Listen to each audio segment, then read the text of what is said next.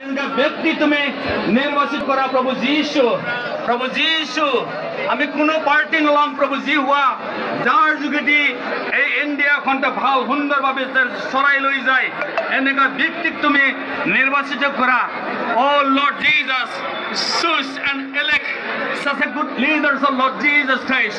We submit into thy hand, O Lord Jesus Christ. Come, Holy Spirit. Listen to our prayer, O Lord Jesus Christ. Listen to our prayer, O Lord Jesus Christ. And you answer us, O Lord Jesus Christ. Oh, Holy Jesus. Holy Jesus.